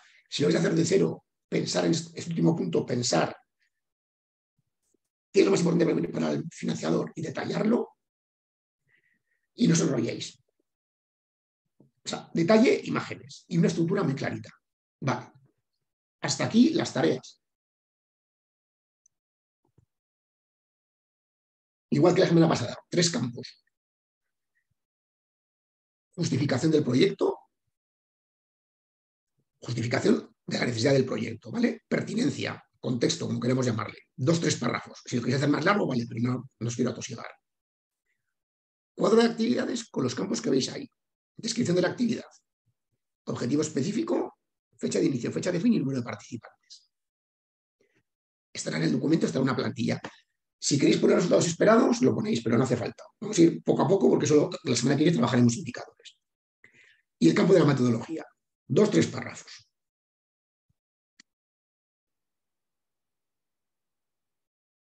Perdonad que he ido la, la, segunda partida muy a la carrera, pues que prefería dedicar más tiempo y a la revisar, sobre todo revisar con vosotras lo que eran las partes, la parte de los objetivos y que os pusieseis en, ese rol ¿no? del evaluador. Pero luego la parte de lo que tiene que ver sobre todo con los bloques de cómo completar esos campos adicionales, bueno, tenéis ahí algunos ejemplos, tenéis ahí un poco las chuletas. Y, bueno, y cualquier cosa, como siempre, podemos comentar. ¿Dudas, preguntas? ¿Que no ha quedado claro? Yo tenía una duda en el tema de los aliados, por ejemplo, si queremos hacer alguna una colaboración, yo pienso, ¿eh? Eh, por ejemplo, para la gente mayor y queremos hacer una actividad conectada con gente que está estudiando un IFE de tecnología, entonces es intergeneracional, eh, les ayudarán a aprender nuevas tecnologías, pero las personas son de la misma entidad en la que trabajamos, pero es otro, otro, departamento. Otro, departamento. ¿Esto lo, podemos hacer constar como aliado, aunque seamos la misma entidad? Yo en este caso no lo haría constar como aliado, sino que lo haría constar dentro de, la, dentro de las actividades o dentro de la metodología. No como aliado, a ver, lo que sea es un ejemplo, voy a dar un ejemplo muy concreto, que, y que esto es muy, común, Caritas. Caritas, sabéis que están en las caritas parroquiales en cada parroquia, que normalmente tienen proyectos muy sencillos, pues del comedor, el no sé qué, tal, el reparto de alimentos, y luego algunas de ellas que empiezan a hacer temas de empleo, ellos te dicen, y aquí vamos a colaborar con Caritas Diocesana, porque son normalmente los expertos en empleo. Es lo mismo, son primos, son tal, pero todo el mundo entiende que es Caritas parroquial y que es Caritas Diocesana. Si vosotros sois una entidad muy grande, que tenéis incluso servicios muy diferenciados y que os puede, el evaluador os conoce y sabe, ah, vale, es que me estás hablando del programa tal y el programa cuál y sé cuáles son y los voy a considerar que son diferentes. Hasta luego, Carla. Eh, podrías llegar a hacerlo explícito, pero si sois una convocatoria para toda España, plantear como aliado al despacho de al lado va a sonar un poco raro. Yo lo metería más como metodología o como, o como actividad. Salvo que puedas tirar del hilo y decir, pero es que ese, ese departamento, ese área tiene otro aliado porque tiene un proveedor, porque tiene un tal, y a través de ahí tiramos del hilo. Vale, gracias. Diego, yo tenía una duda. Nosotros estamos llevando, vamos, el proyecto que estamos poniendo como ejemplo para el tema de las tareas es un proyecto que presentamos para la financiación del material de diagnóstico y evaluación que estamos llevando a cabo en la asociación. Eso no es una actividad con principio y fin como tal, sino que eh, tenemos un, comienzo ¿no? con, la actividad que vamos a hacer, con ese material que nos financian, pero no, te puedo poner eh, o sea, el proceso de cuál es el final, porque todo va a depender de la cantidad de personas que vengan a solicitarnos ese diagnóstico y, y un mes a lo mejor tenemos dos, otro mes tenemos seis, entonces no sé muy bien cómo enfocar esta parte. Claro, ahí tienes, o sea, ahí en la formulación es verdad que hay un componente que es de arriesgar, ¿no? Decir, oye, pues no sé cuántas, pero algo tengo que poner. ¿Y qué pasa si me paso o qué pasa si me quedo corto? Si me quedo corto, pues, pues bueno, en la justificación me pondré, me echaré más, más, más flores. Si me quedo corto, si me quedo largo y me paso y no llego, pues tendré que pedir pues, una reformulación o advertirlo al financiador de, oye, ha habido un, problema porque la llegada de... Claro, aquí cuál viene el punto de partida, la necesidad si yo tengo necesidad, lo que decía si tengo lista de espera, puedo estimarlo porque tengo lista de espera. Si lo que tengo es eh, llamadas, consultas, lo que, lo decimos al principio ¿no? del diseño, tengo una intuición de que algo se necesita, pero no tengo el diagnóstico, y ya me he lanzado a formularios tener el diagnóstico, que esto es muy común, eh, tendría que hacer que de alguna manera tendría que transmitirlo. Decir, bueno, este es un proyecto que consideramos que es necesario por esto y por esto, la puerta de entrada no depende solamente de nosotros, sino que depende de otras tal, consideramos estas cifras y vas a tener que poner, claro, a tener que poner un, número, pero sí que convendría un poco exponer en base a que, eh, cómo llegas a ese número. Porque claro, tú en este caso no tienes beneficiarios en la puerta, tienes, que han, podemos decir, que han rondado la puerta, pero que no sé si cuando la abra van a llegar o no van a llegar. Entonces, un poco tienes que decir, consideremos que esta necesidad, vuestro caso era el tema de, Sí, quedamos, sí, los de, Toledo, ¿verdad? Entonces tenemos el tema de la distancia. En, la comarca de la Mesa de Ocaña, nosotros eh, proponemos lanzar este proyecto porque efectivamente tenemos lista de espera. Eh, nos hemos quitado ya casi la lista de espera, ¿no? Nos financiaron lo que es el material con fondos europeos por una asociación comarcal de aquí y demás. Y, claro, lo que no tenemos claro es eso, ¿no? Eh, yo ya me estoy quitando la lista de espera, me han venido alguno más, pero yo no sé qué va a pasar dentro de seis meses. Tengo el material comprado y justificado con sus facturas, etcétera. Pero la actividad del servicio. El servicio tú hay. Eh, a ver, ahí aquí todo tiene que ver con la necesidad. Quiero decir, hay servicios, podéis imaginar que por ejemplo que es muy claro. El servicio de de atención a mujeres víctimas de trata. Y haya entidades que tengan ese servicio disponible 24 horas al día, 365 días al año, que si te llama un día el fiscal, la Policía Nacional o, quien, otra entidad y te diga una, beneficiaria, que, tengas capacidad de acogerla, es imprescindible. Y nadie lo cuestionaría. O sea, sería mucho peor que cuando llegase la mujer, ah, pues no, hay sitio, tenemos que atenderte. Entonces, hay ciertos servicios, por eso la necesidad es muy importante, pues si, recordáis el ejemplo de, Fundación La Caixa, ¿no? la vulnerabilidad, o sea, hay ciertos servicios que son imprescindibles. O sea, yo también he trabajado en temas, por ejemplo, con temas de toxicómanos, ¿no? temas de drogodependencia. Es que si una persona decide dar el paso de abandonar las drogas y iniciar, un, itinerario, no puede ir, ah, no, que, no queda, que no queda sitio la, entidad. Entonces, ese tipo de proyectos, hay en que existe el, el atributo, el gancho, es la necesidad de que el proyecto esté disponible. Y habrá unos años que habrá unos picos, que habrá tal, y que luego cuando lleves cinco años, pues en base a, en base en de sierra, puedes decir, mira, la media que tenemos son seis personas. Pero claro, ahí, es un tema de, de, poner el foco en la necesidad del proyecto, no tanto en el número de beneficiarios. Un poco como el ejemplo que antes os decía de las, de las seis personas con TEA. Si es que el problema no está que haya seis, el problema está cuál es. Entonces os digo que a veces es más difícil que comenzáis con un proyecto de 200, cuando yo cuando estoy evaluando tenga cinco proyectos iguales de 200, de ocupacionales, de ocio o de... Decís que esto, esto es igual, o sea, son necesarios o no tanto, porque es en Madrid, porque si no, que vaya la entidad de al lado, que no hay otra. Entonces, vosotros jugar con el factor territorial como necesidad y somos los únicos que estamos, ¿no?